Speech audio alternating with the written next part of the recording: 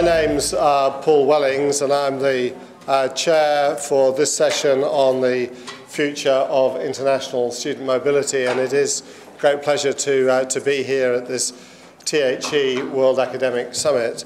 Uh, today I'm joined by uh, David Harrington, who's closest to me, who's the managing director of uh, APAC Hobsons and based here in Melbourne, uh, Karan Khemka, who's partner and co-head of education practice at Parthenon and think based in Singapore, uh, and Jiro Kokuryo, Vice President of International Affairs at, at Keio University in Japan. So uh, an interesting uh, international uh, panel and uh, a chance, I think, to reflect on the importance of, of, student, uh, of student mobility. Um, we're each going to, uh, to speak uh, briefly. Uh, I've got some slides, I know Karan's got some slides, and others will speak from, uh, from the table. And then hopefully there's a little bit of time left over uh, uh, at the end of the session before we go back. And for those of you who want to go and see Ed Byrne's talk, which I think is the final talk of the day. So without further ado, um, future of student, student mobility. So what I, what I wanted to do was to um, was to touch on sort of three, three issues. The way that uh, government policy has some influence on ideas about, about student mobility, specifically to focus on some details of uh, exchange versus sort of study abroad programs, and to say a little bit about uh, what are the consequences of driving inward mobility or outward mobility uh, from, from economies. I'm not going to spend personally a lot of time talking about transnational education and the, the, the big movements of students coming to do their full degrees, but rather to focus on, on particular programs. So on, on, on, on the government uh, policy, um, just to pick two, uh, two economies that certainly I, I know well, but uh, uh, really a, a sharp sort of counterpoint about how you can um, change the mood music in economies through, uh, through through, through government signals. I think here in, in Australia, uh, many of you will know that the, the current government has, has invested heavily in what's called the new uh, Colombo Plan. That's specifically a mobility program to allow uh, Australian undergraduates to engage into a set of countries that essentially run from Pakistan round into our sphere of influence in, in, uh, in, in the Pacific. And uh, that's had, as I'll show you shortly, a very large effect. I think we all live in a world of relatively encouraging state and uh, federal uh, policy. So I'm based in New South Wales, and you know, studying New South Wales uh, is, a, is a body that's been put together by uh, the, state, the state government, and a lot of encouragement to think about the role of international education. So as Vice-Chancellors, we find ourselves drawn into that debate. Uh, as the Minister said this morning, this is now seen as an $18 billion service export industry. And here we have various criteria that allow post-degree work experience for international students who've done their, their degrees here. And you contrast that with the United Kingdom, which a few years ago would have looked very similar to the Australian dot points, and you can see uh, there um, a very strong uh, export service industry, in my words, being uh, willfully thrown away. And I was in London the other week, and actually my eye was caught by, by this editorial in the Times, students out. Uh, I come from an era where students out most probably meant uh, something different. So there's, uh, there's, uh, there's um, you know, an editorial um, a simple and fair way to bring down net migration uh, numbers would be to exclude foreign students who should not be counted as economic migrants. So the, the, the fight that's going on between the, the Home Office and uh, the uh, other portfolios in, in London over how mobility is seen and how student movements are seen, having a very profound effect on the, on the settings. And I'm sure other economies could tell similar stories, but there's, there's I think, a really sharp, sharp counterpoint uh, worth thinking about. On, on the issues that relate to uh, mobility trends, I think, I think this is uh, uh, a really interesting slide. So this is, this is the top source of countries for incoming semester type programs. So these are students coming into, into Australia. And uh, I think there's several things that you can see uh, on, on this slide that um, we're still a destination for young American students to come uh, to Australia, both on exchanges and on study abroad uh, pr uh, programs. Uh, you can see the rise of Brazil now sitting in second place, and this is specifically as a result of the Science Without Borders initiative, which the Brazilian government has put in place to encourage, encourage mobility, uh, and then a whole range uh, of engagements and a lot of traditional engagements um, with Europe and, and North America uh, coming through through that slide. So I think I think it is uh, important as, as you as you look at that. Um, if you if you look at um, what the leading destinations are for US uh, uh, students, you can see the bulk of US students as they leave uh, their country to go on, on programs. The bulk of them are going to the United Kingdom. And then there's a whole range of sort of cultural exchanges, if I can uh, put it like that, where clearly uh, students involved in humanities, art, social sciences going to, uh, to, to, to, to, Europe. So something like um, 60.3% of um, US study abroad programs uh, now are for summer programs or, of eight weeks or less, which accounts for the, uh, the Northern European uh, uh engagement that you can see on that slide. So uh, a lot of students moving away from the exchange, semester long or whole year exchange into these very short experiences and the rise, uh, the rise of that uh, emerging. Uh, similarly, uh, when you look at the uh, Australian data, so these are Australian, Australian students uh, going overseas. Now, something like 70% of, of all Australian students on a mobility experience are experiencing a short course or an internship or a research attachment. So the, the, the decline relatively of the long exchange into these much shorter uh, bite-sized experiences of different sorts. Um, I think, I think the, these data are interesting um, uh, from our experience. I think several things that well, you, you can't see on this slide, but there's, there's a very sharp growth in these numbers, and so uh, they're growing at something like uh, 5, uh, 5% uh, per annum since 2007. Um, these Australian data, I think there are seven Asian destination uh, countries in, in the top 18 uh, that are listed listed there. So these are listing destinations with 500 student exchanges or more. Um, of the American data I showed you, the US, I think there's only, only three Asian countries that appear there. So very different types of engagements that you can see that have been sort of strategically driven by uh, different types of, uh, of views. Um, so for the uh, semester programs, I think 50% uh, are European, a third of them are North America, so they're still dominating. Um, and then on the short programs, 50% of them uh, are, are, Asian uh, destinations. So if I, um, if I jump through to uh, what does that mean at institutional level, and for obvious reasons I've picked uh, the University of Wollongong as, a, as an exemplar of, uh, of an Australian uh, institution. For those of you who uh, don't know Wollongong, that's, uh, that's the Pacific Ocean and the, the, the beach. You're more than welcome as international visitors to come and see it. It's a very fine location. But I think what you'll see in this institution, and I suspect in many other Australian universities is that mobility is now deeply embedded in institutional strategic plans. So almost impossible not to pick up a university strategic plan at the highest level and not, and not see some reference to concepts and ideas of, of mobility.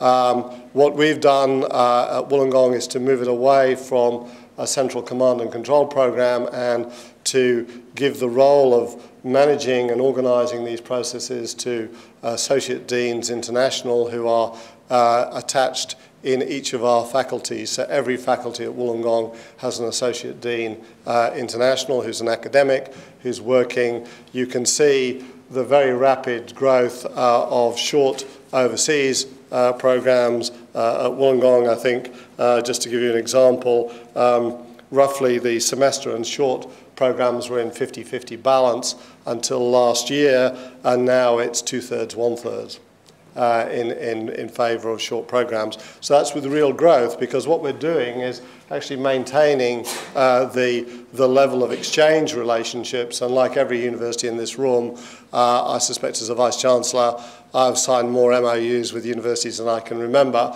but specific, specifically to drive exchange programs uh, where we've found partner universities with interesting laboratories that we'd like our students to go into and, and vice versa. So they're maintained, the growth is in uh, student, uh, students going on uh, short programs. And then interestingly, um, in the last year, we've launched uh, UIWX, which is um, uh, a formative learning process as opposed to a summative process. So trying to record the activities of students involved in societies and sports and politics, etc. And these sorts of exchange programs uh, have become possible to record as activities within that sort of formative framework to be associated with the transcript of a student's degree. And they're recognising things like global cross-cultural and international opportunities, community opportunities. I, I, think we've just heard the, you know, the community session in the previous, uh, previous room. Um, uh, records about employability and internships, uh, evidence of leadership, evidence of creativity, and evidence of uh, of mentoring. So those are the main frameworks that sit within UIWX, and many of these mobility activities then uh, sit into there. Um, what are the global opportunities uh, that I can and, and issues that I can still see needing to uh, to be to be thought through? I think the first of these are are the link into uh, university uh, budget. So inward exchange and in particular the transnational education processes, which I've, which I've not touched on, are, are obviously major drivers of incomes to many, to many universities.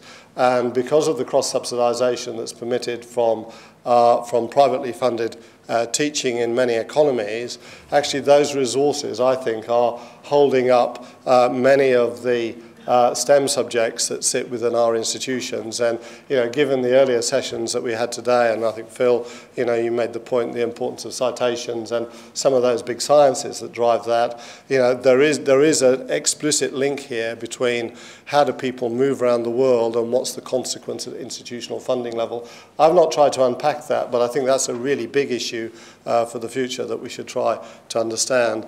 I started with the, the, the issue about public attitudes and, and migration policy. I think that's still a big issue in some parts of the world, and certainly in the United Kingdom is a very hot button. And the, the final point I'd make is that we do know that, that uh, middle class demand will not go away. World student numbers double in the next 20 years. Most of those people will be in the Eastern Hemisphere. So even though all of us will lose market share, uh, in absolute numbers, the numbers will still grow up for the next two decades. So on public attitudes to migration, this is an extract of a letter that went from the UK Foreign Secretary Phil Hammond to the, uh, to the Prime Minister. Um, you can read that, but it, it is reflecting the nature of the debate in the United Kingdom around what's a student and what's a migrant and how do we actually make sure that those issues are uncoupled because at the moment the processes in the UK are conflating what's a student movement and what's a migratory movement. So this, this is a desperately important issue, I think, for all of our economies to understand, given the scale of diasporas that, uh, that move around uh, the world. Um, but clearly here, a very profound signal from, uh, from the Foreign Secretary to the Prime Minister expressing a view uh, of the impact that's having on the UK economy.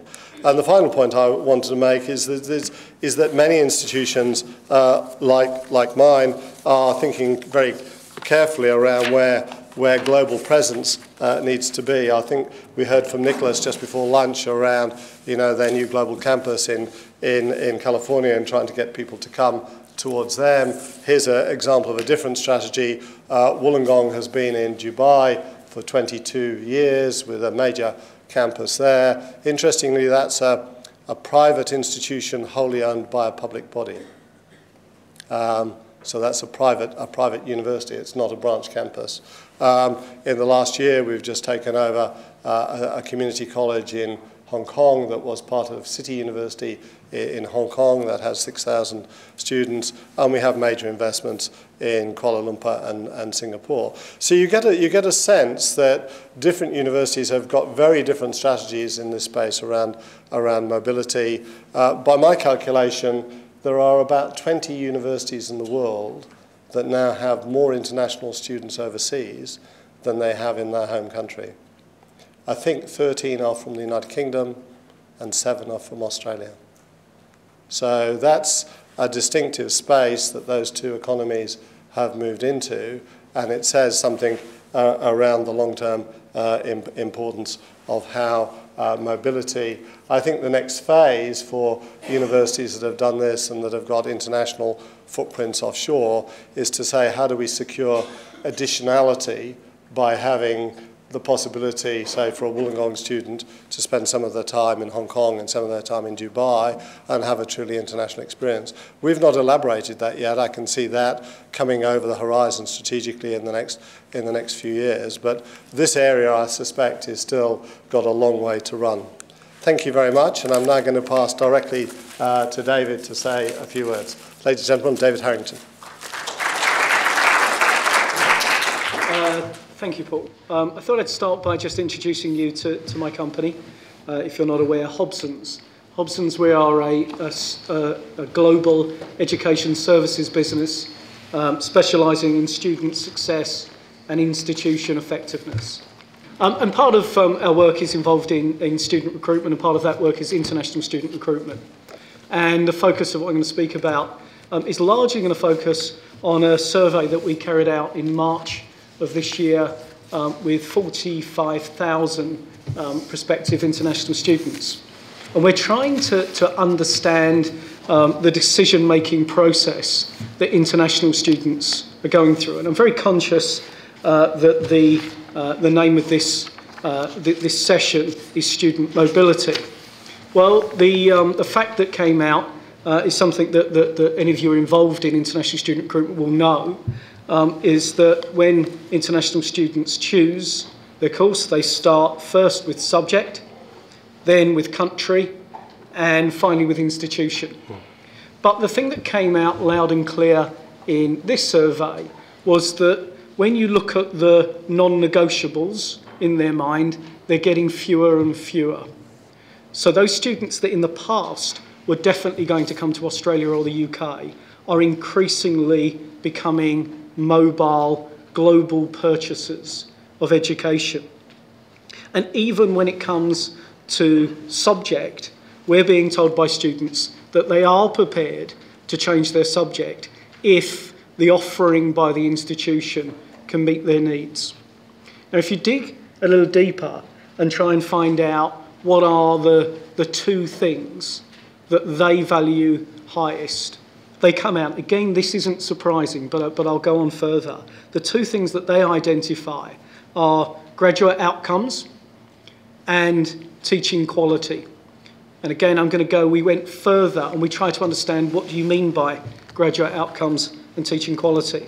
Well, graduate outcomes very clearly in their mind means um, demonstrable proof of employability, salary, expectations, and transferable skills. And this has been um, something that we've been aware of for many years. And one of the, the, the, things that I've noticed, I was involved in, in graduate recruitment for a number of years, both here and in the UK, and, and, and, and mostly in, in, in international student recruitment, is that we work with international offices. And most of the universities, particularly here in, in Australia, have international offices of 50 people strong. Yet the last time that I did a count, and apologies if I'm, I'm slightly out here, the number of careers advisors that are 100% dedicated to finding international students jobs is probably five or less across the whole of the Australian market. So we've got a sort of a mismatch here between the way in which an international student values the outcome, their purchase, and where the institutions are putting their emphasis. Um, So um, looking at, at, at um, graduate outcomes and looking here currently in Australia. In Australia currently we have a huge um, uh, uh, advantage over our competition with the, um, the postgraduate study, uh, post-study work rights that we currently have. Looking at the US, it's really unlikely that the US is ever likely to develop um, a very wide scale um, pro product. And looking at the, uh, the UK currently, um, the political climate in the UK, I would say, and, and I don't know whether Paul, who knows that market better than I, it doesn't look as if um, the UK is going to become very international student friendly for the next three or four years. So I think that what we have is an amazing opportunity here in Australia, not just simply to exploit the advantage that we have, but to build genuine links between the education of international students and employability and proof of employability, both back in the country where they came from, within Australia, and globally out there in um, the world of work. The second thing, um, teaching quality. What do international students actually mean by teaching quality? And, and funny enough, it isn't actually the teaching they received. Teaching quality came out quite clearly as two things the prestige of the institution and the price. So they're two things that are slightly harder in which to influence. So rankings and Phil, I can see uh, in the front row there, extremely important in their perception of teaching quality. Price it was a simple fact of the more expensive the course, the better the course. Although when you do um, um, look further into the data, um, it really is about uh, the institution understanding its brand value and basically making sure that the price of the course doesn't go beyond the brand value of the institution. And we've been doing some work recently on brand value uh, of institutions here in Australia, and in fact, we've got some research uh, that'll be able to be downloaded free of charge from our website uh, next week on that. Um, so we've got graduate outcomes and, and teaching quality as the two most important things that are influencing an increasingly um, mobile um, international um, student uh, workforce. What else is it that is important? Well, after that, it then comes down to the fact that this is a, a, a commercial, mobile, purchasing audience, I think $18 billion, uh, Paul mentioned before. And then it comes down to the simple facts of customer service. There is a direct correlation between the efficiency of services and feedback through inquiries, through application to offer turnarounds, and acceptance rates the role of the agent is changing. The role of the agent is coming out less as an influencer now of the student's decision and more of an administrator. So the world of going out and just keeping agents happy is no longer an effective process of actually controlling the number of students that are going to choose your institution. They really are there to fill in forms and to help with visas now. It's going to come down to getting your message right and getting your internal processes right and making sure that your institution and your offering is in line with what the students are looking for.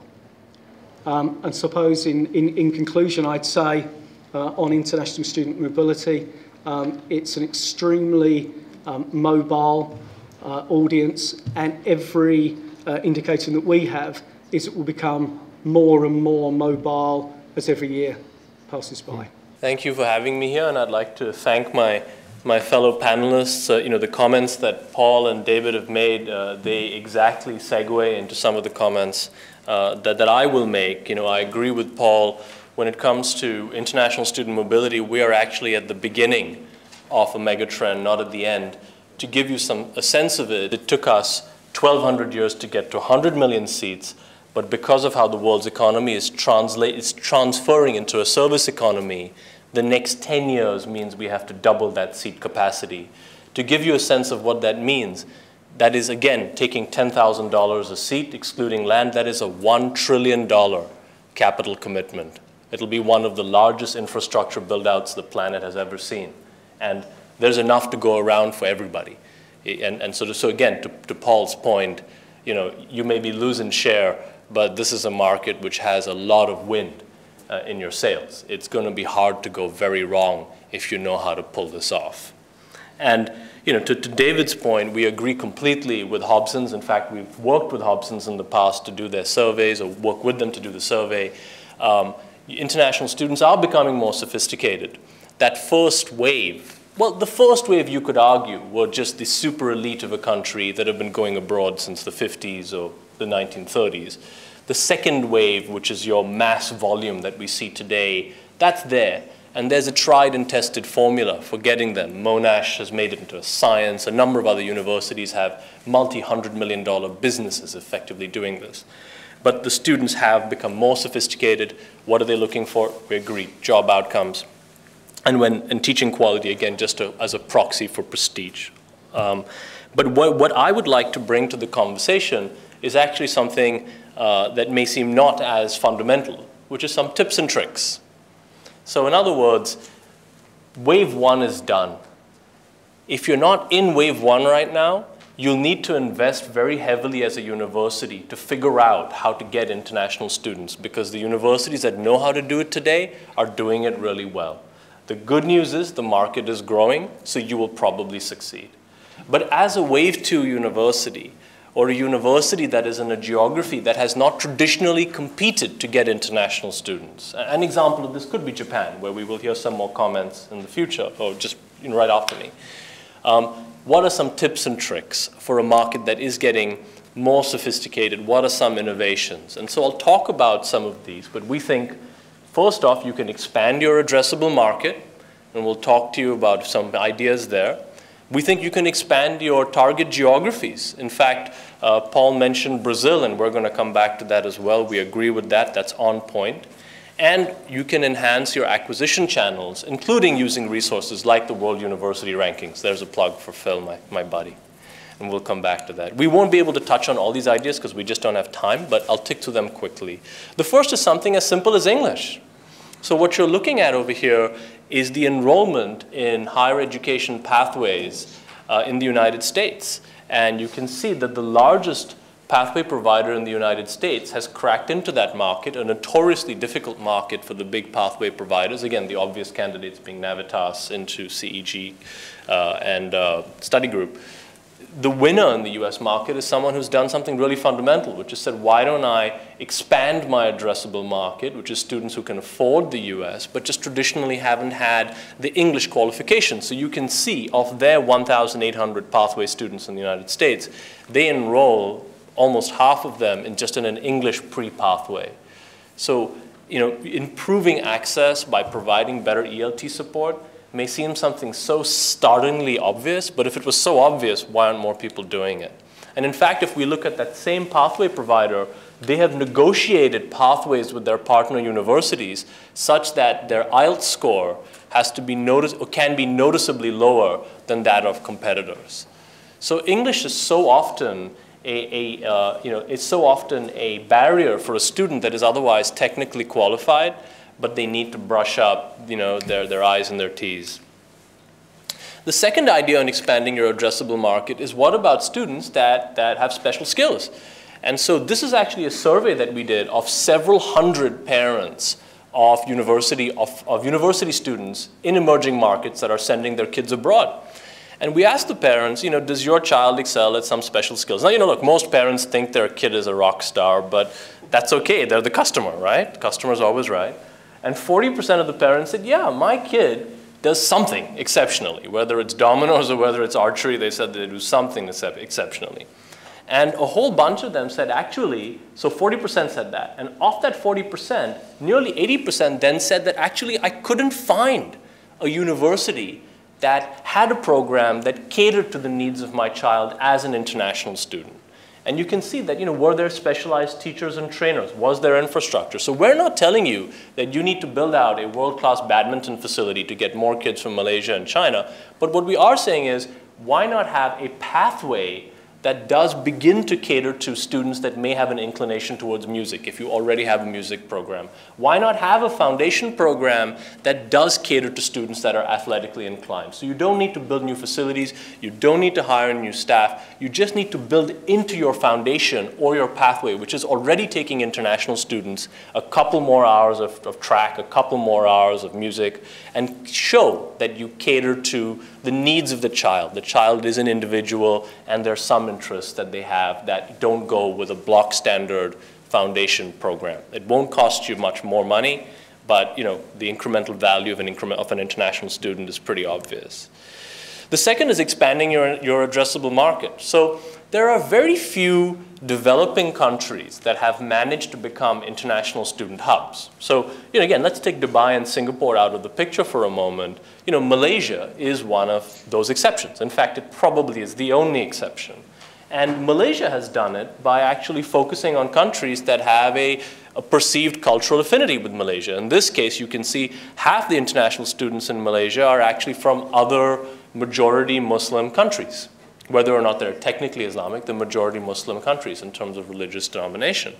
And so, you know, Malaysia has benefited from this. Now, today they're trying to manage the mix due to political reasons, but it certainly got them started as a viable international student hub.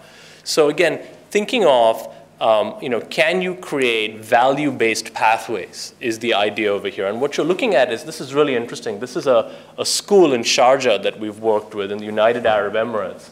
And this school went from nothing to being the largest school, private school in Sharjah with 2.2 thousand enrollments in just three years.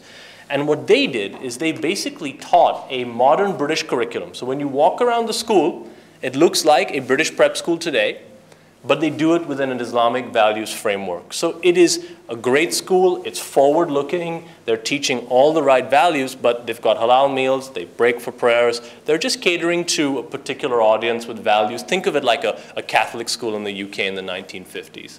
And so introducing more products that are catered around values and needs could be interesting. By the way, for the United States, this is a particular opportunity because there are so many faith-based colleges that could cater better to students in Latin America, you know, of the various Christian denominations. And again, nobody is really doing this today. Um, and coming to Latin America, you know, Paul mentioned Brazil as a growth market. You know, so what you're looking at over here is the percent of students in a country who can afford to study abroad and are doing so. So you can see in Malaysia, one out of three kids who can afford to study abroad are doing so.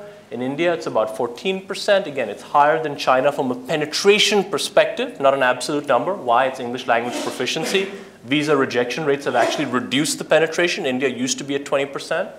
China's at 9%, which again gives you a sense of how much the market can grow, right? Only one in 10 kids in China today who can afford to study abroad are choosing to do so. And the main impediment to them going abroad is English, which comes back to the first point that we just made. And then, but look at Brazil. Brazil has better English proficiency than China, but one third the study abroad penetration. And so, what is it? all these suggestions are, are, are sort of knitted together. In other words, how do we unlock Brazil? You've got to market to them, but build a product around their values and their needs and unlock a significant market. And the other point that we want to make is we think that using sources like rankings, like the World University Rankings, is incredibly important. You know, when we look at visitors coming to the, the THE website, we see that the numbers are growing tremendously. But here's something very important and interesting, which is we found in our surveys that international students will usually go to a rankings website even before they touch a study abroad agent. So in other words, they will approach the WUR and they will treat it with more credibility earlier on in their decision process than they would if they went to one of the big study abroad agents.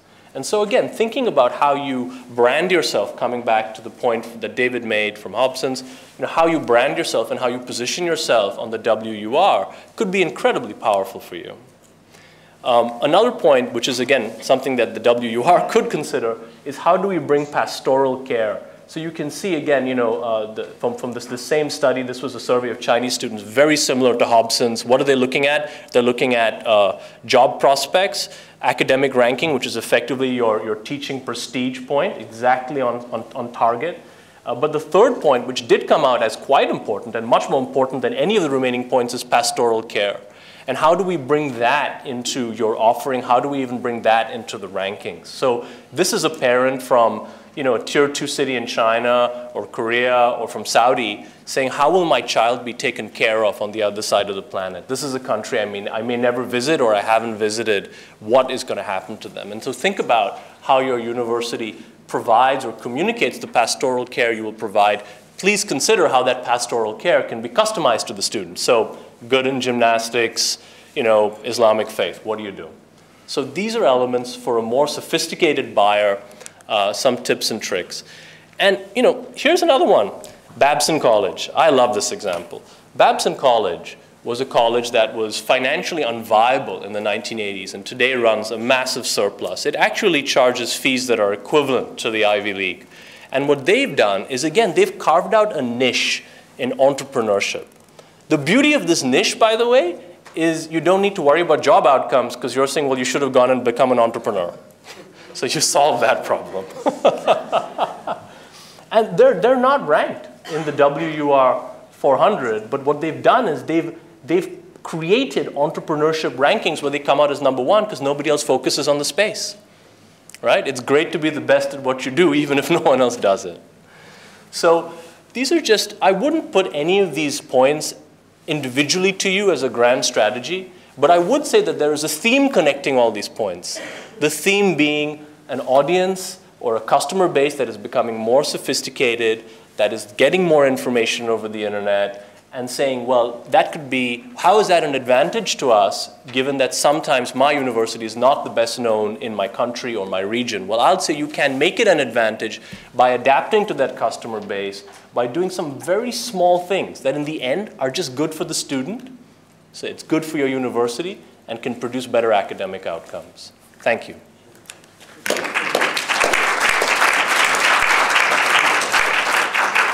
Our fourth speaker, Jiro.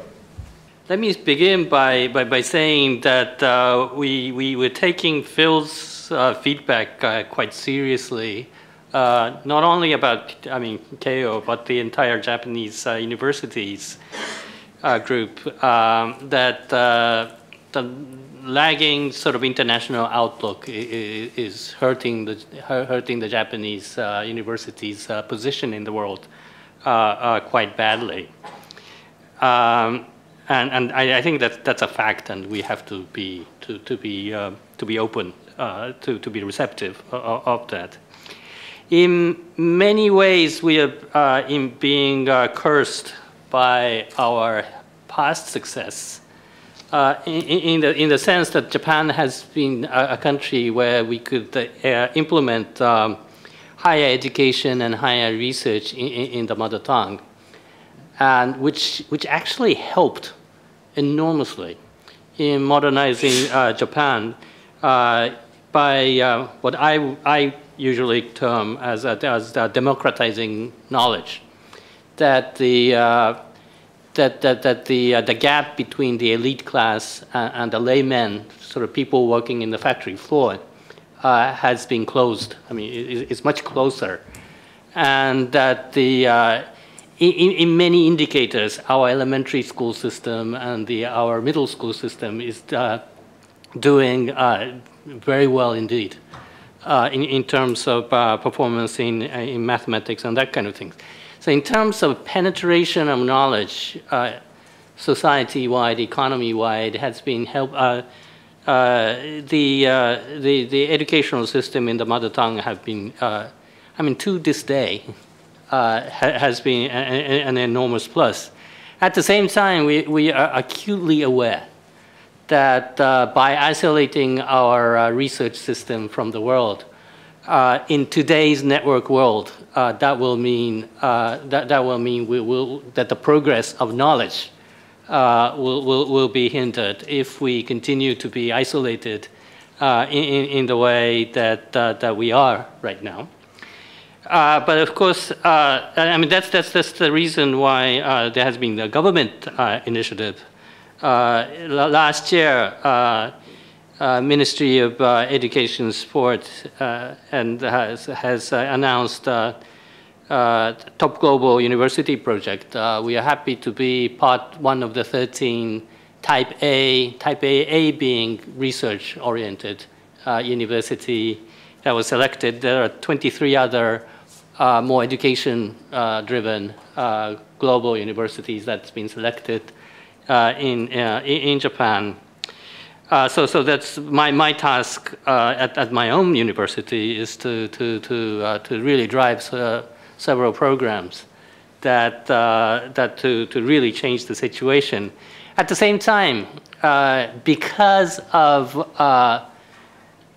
that there is that, that there is a firm reason uh, for the way Japanese universities uh, are the way it is now. Uh, we, I, am faced with the really uh, the uh, the task of really you know convincing the, the the people why we are doing this. I think there are about three reasons why universities should should globalize.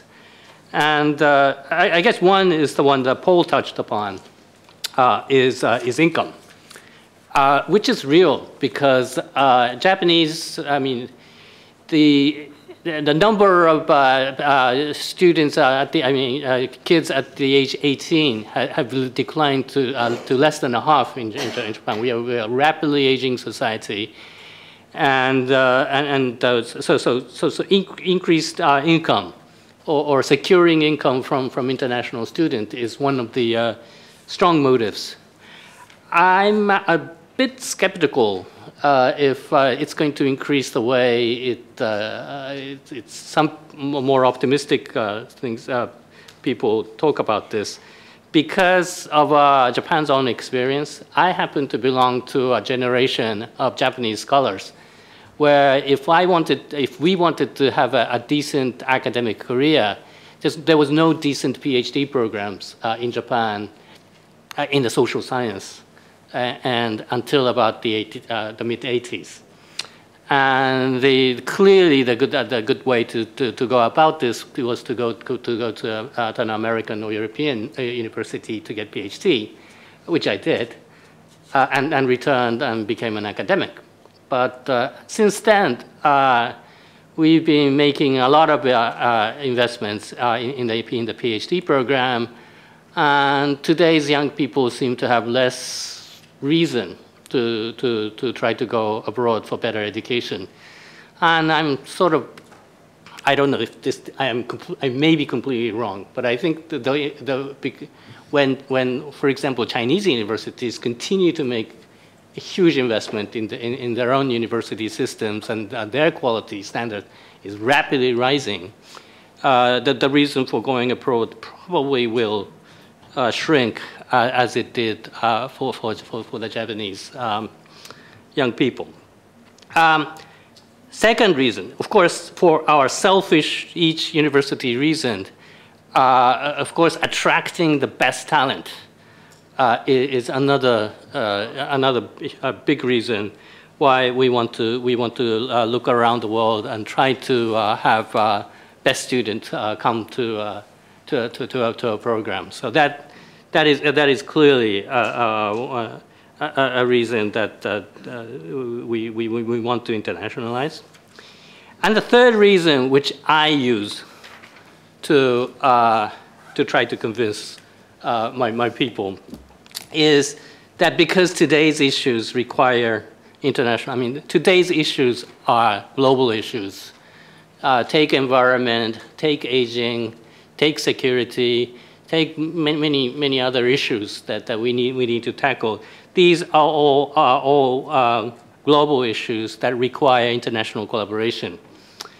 Uh, and, uh, and, and, thus we need uh, people who are able to operate in, in, a, in a global environment uh, and, and, tackle some of the uh, key issues with our partner, partners, whether they be academic or business or government, to, to, to, to try to uh, resolve uh, issues.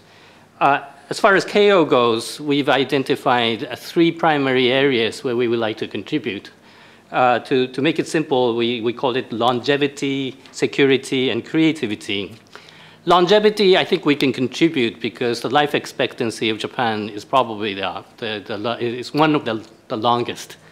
It's actually, it's, it's, a, it's, it's, as, it's as much a problem as, uh, it is, uh, it's, it's, it's, as it is a happy news. But um, at any rate, um, at any rate, uh, tackling, tackling, tackling opportunities of, and, and, and the, the problems of longevity is clearly uh, uh, somewhere we can contribute. We have the largest cohort of uh, data on, on people over 100 years old.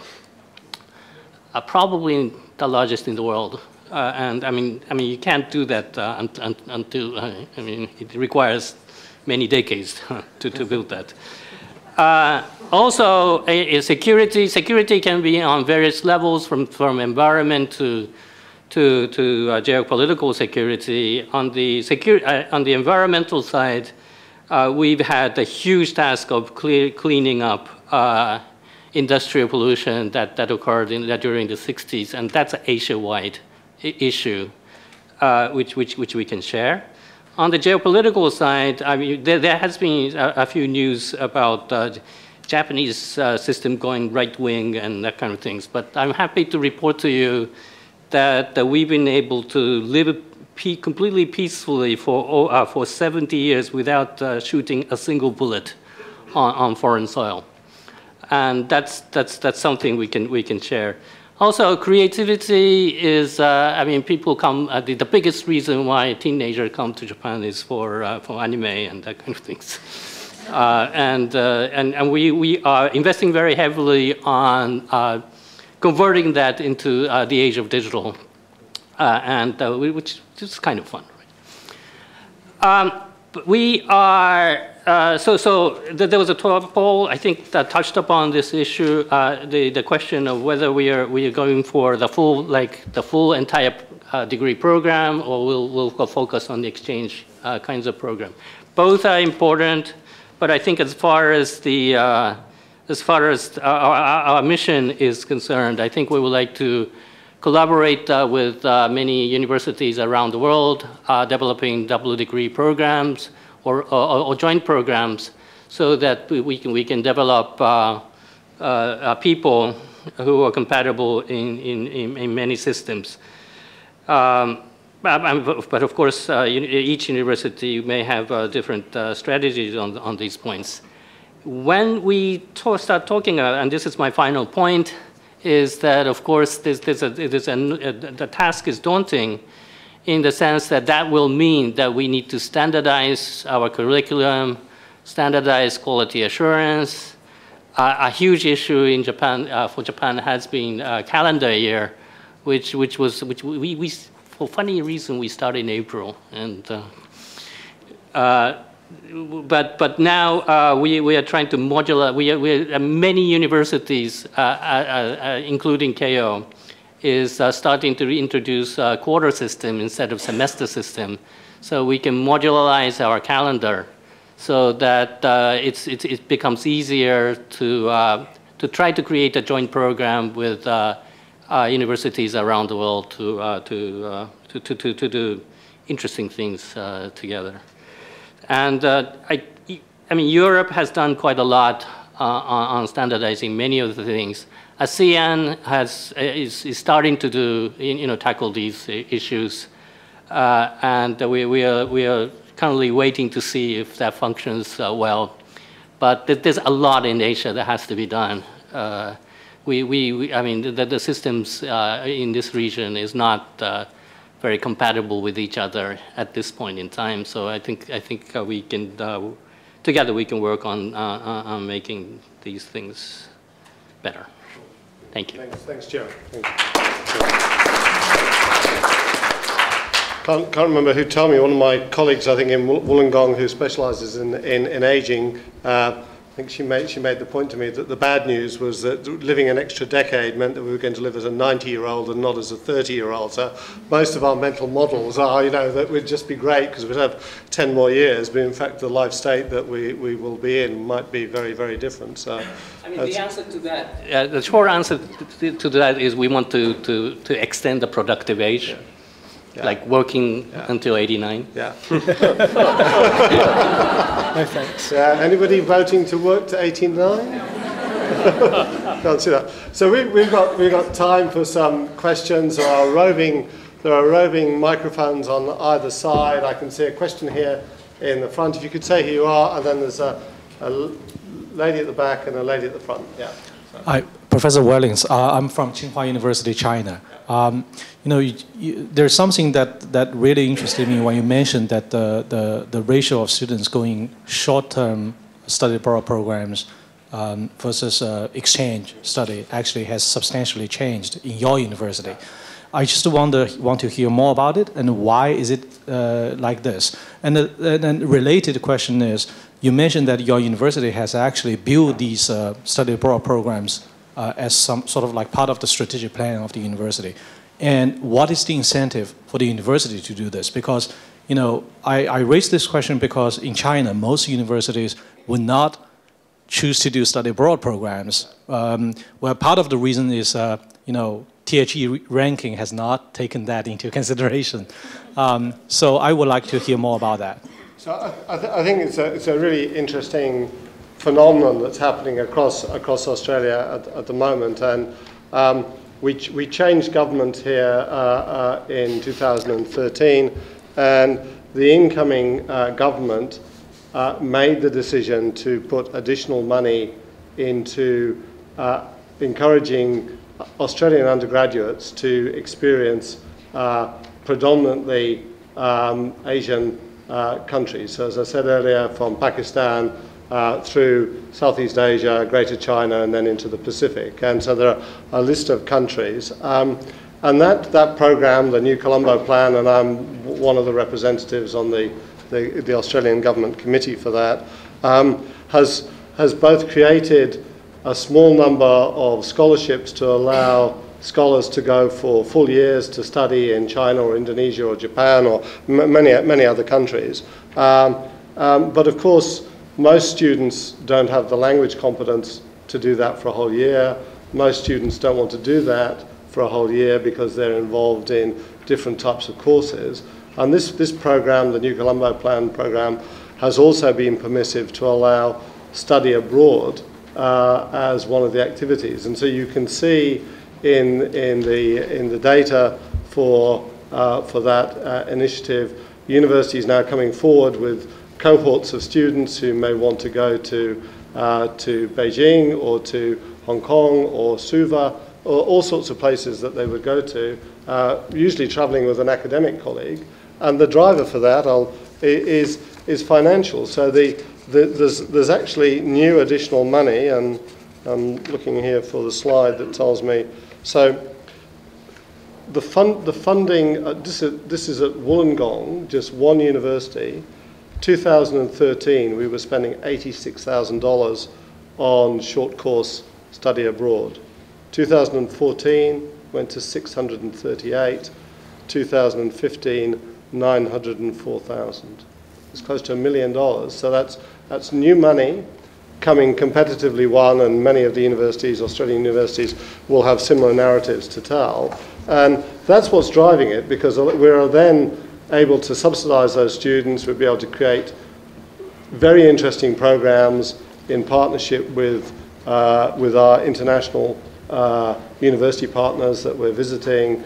Uh, so we're tailoring programs. So for students, say, going to China, it may well be uh, a technical course in engineering, but some, some areas of language skills at very fundamental acquisition and some cultural understanding, and that's what's experienced over, say, an eight-week period. Well, uh, we're now starting to see some students then wanting to go back to say, could I do my master's program in Tsinghua? That, that would be a good, pro- a good, a good outcome of a short experience of that sort. But it's all, it's, it's all been driven by new money in the system and highly incentivized by the federal government to say this is a legitimate thing that we should aspire young Australians to have. It's only available to undergraduates, so that's one frustration. Some postgraduates would like to do it. Um, but it's just a change in policy. Yeah. yeah. Hello. Um, my name is Sarah from Wiley here in Australia. I just want to say thank you. This was so informative, really. Um, I'm wondering, with the growth of dig digital innovations that we've seen with especially top universities, not only in America, but the UK and now here in Australia, of digitally innovating and, and providing you know, full online programs, how each of you sees that affecting and transitioning the future of international student mobility. I think it will fundamentally change uh, the nature of uh, uh, what we do. On the international front, I mean, of course, uh, the, the, the, delivery mechanism of, of knowledge uh, is, uh, is going to, is going to change and, and, globalize very rapidly. At the same time, I, I think I mean, if you are to ask the question whether we can go without a campus, I mean, I mean, no physical space, that's, that's probably no. But uh, I mean, this, this is a perfect example. I mean, the design school and, and the creative, uh, you know, studios and, and, that sort of things. I mean, I think, I think campus will be a place where uh, students uh, will creatively, you know, spend not just to receive, I mean, this kind of auditorium listening to, to, to, to lecture one way is probably thing of a past. But then uh, to, to, to be able to spend time together, live together, create together, discuss together, uh, and, and, and, and we, we equipped uh, with uh, you know, device that, that makes these, this possible, uh, that, that will remain. So I, I think, I, I, think that the, the, I mean, I think we, you know, the infrastructure we're going to need, uh, require to, to, to, build university is completely, is going to be uh, very different from what it used to be. Um, the, uh, the, the, the, the, learning style is going to be very different uh, from what it, what it is today. Uh, but then, uh, you know, really we, we need to focus on uh, how, how, how we, we, we can add, you know, value uh, both at the global level and at the local level. did I address your question? I'll try to respond keeping your acquisition of Deltak in mind. So we work with Wiley in the United States. We've worked with your Asia Pac team out of Singapore. We're familiar with your company. And so, so a guy, actually a very famous, very well-known venture investor in the United States, one of the most successful venture investors in the United States, an early investor in Twitter. So he's pretty good with technology. He said, look, Karan, this is actually the third edutech bubble. The first EduTech bubble was, remember when CD-ROM started to show up in the back of all the textbooks?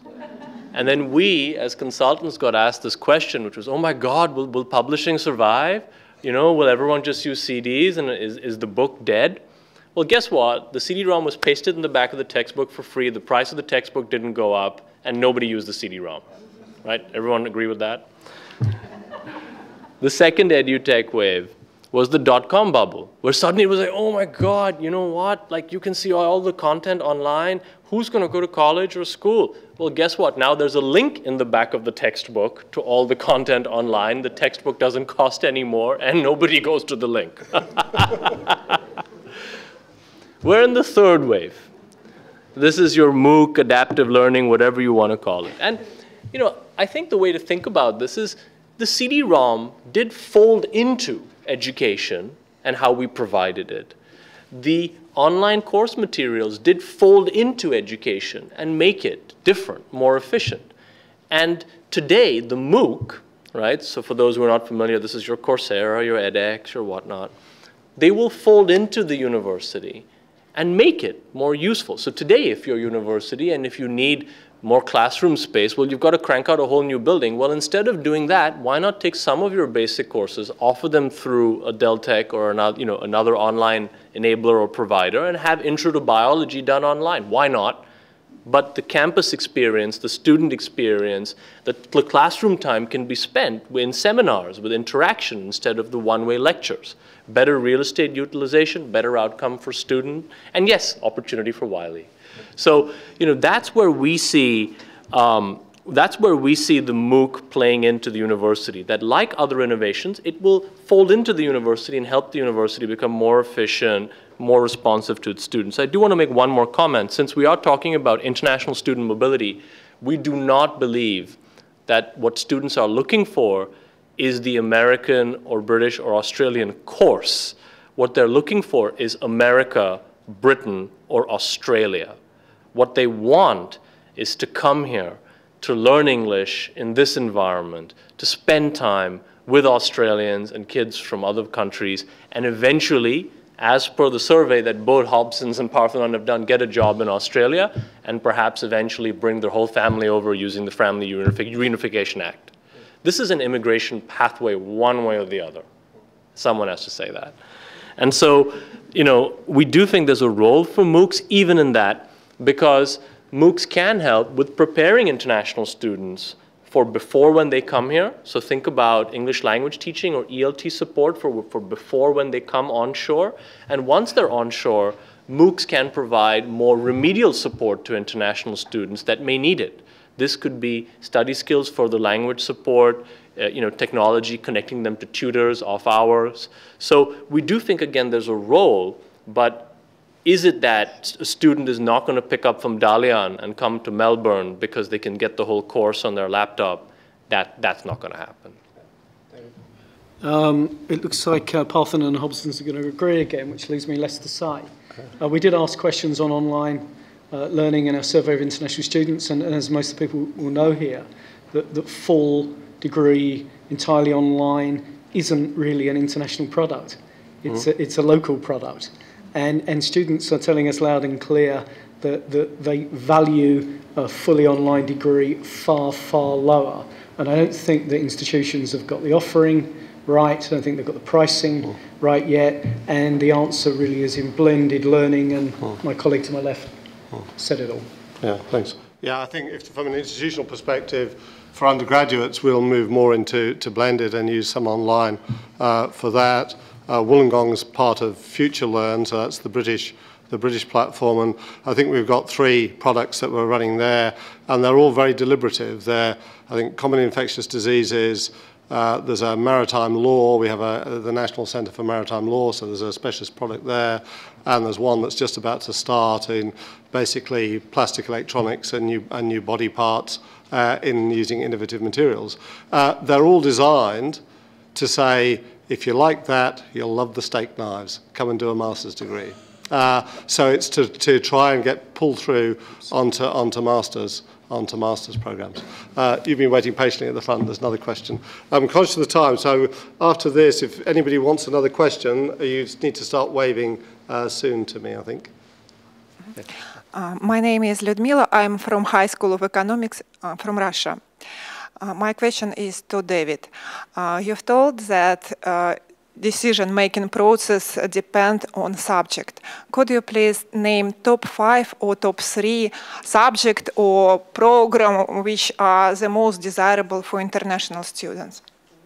Okay. Um, that wasn't actually part of this survey, but that information is, is, is freely available uh, through the, certainly for the AEI website or the British Council website as well. Uh, it does differ by country, and it does in terms of where the student comes from, and it differs by the destination country as well. Um, but, but that really wasn't part of our, our research. But it's, it's preliminary, it's all about employment outcomes. So your engineering, business, management, economics, accounting, it's, you know, there aren't those many art history, yeah. sadly. So two very quick questions in the wind-up side. One at the back, and there's a lady just down here. So, yeah. Uh, hello, my name is Sunmi Choi. Uh, I'm from Yonsei University in Seoul, Korea. And I really enjoyed your talk, but I do have one question about the study abroad program. Or in a way the popularity among students. Because when it comes to international student mobility for the university, I think there are two aspects. One is really you know making your, your university very attractive to full-time international students is one thing, and the other is exposing your students uh, globally. So I think that I'm referring to the uh, study abroad program. So what I have found that in the recent two or three years is that our students are growing less and less interested, interested in studying abroad. And when I investigated, it turns out that employability is indeed very important. But what they're finding is that actually you know, having this experience of study abroad is not as attractive as having internship for a semester for their employability. And therefore, students choose to, in a way, to spend their precious time and resources in making themselves more employable than going study abroad, abroad. And therefore, I'm finding it kind of hard to promote this opportunity among students. And I'm just wondering whether this is only my unique experience or if it's yours as well. And also as a Hobson and, you know, Parthenon, whether you, your data has shown such a trend among other universities as well. It may be that different things play out differently in different cultures. I think, I mean, I've, I have experience in the United Kingdom and some experience here in Australia, and I think, I think the pressures on young undergraduates to pay rent because they're usually living away from home, to maintain a part-time job. Many Australian students would have a part-time job. So the study abroad option of going away for a short period of time most probably in the first place is, is as good as it gets. So the, the previous model of saying go for a whole year or going for a semester is, is actually a very diff difficult proposition now for us to, to sell. And I think it's, it's actually to do with the modern lifestyle of, of undergraduates in, in Australia. I'm conscious of the time, and I'm just going to pass to this lady for the last, last question. Hello, I'm Anamika Srivastava. I am from OP Jindal Global University, India. Um, uh, you've, you've, I mean, I, this question is for the entire panel. Uh, you've been talking about these strategies to attract students to to a region or countries, um, and you've been talking about the standardization. Suppose English language should be a part of uh, the education system and so on and so forth. But when I think of uh, emerging economies or South Asian economies, I think uh, there's enough competition when it comes to all these professional courses, English speaking, all that. Uh, to attract students to these economies, don't you think then somewhere they will have to come up with some kind of unique, unique selling points which could involve uh, niche kind of courses, like you said, uh, but it could be in history or civilization or religion or language. Um, uh, what do you think about this? The entire panel. Thank you. So the most, the best known internationally now, arguably, but perhaps the best ranked, let me put it that way, the best ranked Indian academic institution is ISB, the Indian School of Business in Hyderabad. The comedy of this, of course, is that it's not accredited in India, and for many years, the dean of ISB used to receive an arrest warrant on his birthday every day from the state. It's a very friendly government in India to all things good, isn't it? And, um, and ISB, in its, you know, I, I sometimes attend their board meetings.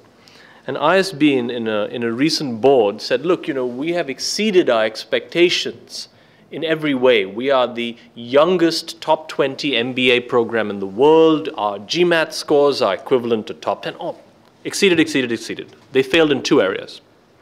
The first area is they don't have enough women, and they are working to address that. The second area is international students, where they have just absolutely undershot the mark. They have to give it away for free and then some to get somebody to come. And the answer is really simple. It comes back to what the data has been saying, what the uh, lady from Korea has just said, employability. Which is if I have a dollar to spend and I can buy an MBA program for the same price in Singapore, even if it's poorly ranked, even if it's a part-time MBA in Singapore, I can reliably get a job at a salary two to three times that of an ISB graduate in India, but it's much harder to get into ISB. And you know, do I really want to work in India? What, what, why would I do that as somebody who's not Indian? So that is the fundamental challenge to moving students into India. You could then say, well, what about the Indian diaspora? And the most successful example of that is Manipal at its campus in Karnataka, specifically for medical students. And so, you know, in that case, it is a niche course, but it's that particular course has almost a unique allure. You know, to become a doctor, it's so hard to get into a reasonable medical program anywhere in the world. And Manipal has special exemptions for NRIs, so Indians abroad to come back and take that program. So, in other words, it's, it's niche and it's patchy, but as Jindal gets going, you know, I wouldn't necessarily place a lot of eggs in the international student basket. I'd focus on the home market, which is still growing and very healthy. That's a great, a great point to, uh, for us to, to, to finish because I know that uh, Ed Byrne's getting wound up next door and we'll, we he's, uh, he's ready to, to go for those of you who are going to go through there. I think that's been a bit of a tour of the houses. So we've covered some aspects of exchange, some aspects of study abroad, some aspects of transnational, looked at policy, market branding and audience. I want you to thank uh, Jiro, Karan and, and David because that's been a really great session. Thank you very much.